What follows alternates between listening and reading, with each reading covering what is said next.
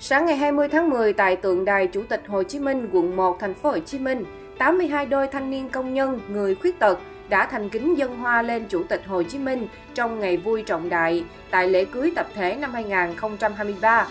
Chương trình do Trung tâm hỗ trợ thanh niên công nhân thành phố Hồ Chí Minh tổ chức cho 82 cặp đôi là thanh niên công nhân, người khuyết tật khó khăn chưa có cơ hội được tổ chức lễ cưới.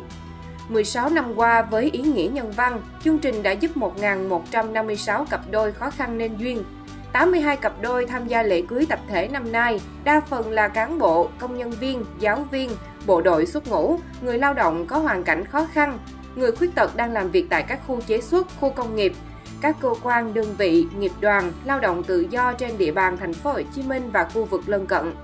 Đây là những cặp đôi có giấy đăng ký kết hôn, chuẩn bị kết hôn và chưa tổ chức đám cưới. Tham gia lễ cưới tập thể, các cặp đôi sẽ được hỗ trợ nhận cưới, trang điểm, chụp ảnh cưới, quà cưới, gói khám sức khỏe và hành trình hạnh phúc sau lễ cưới.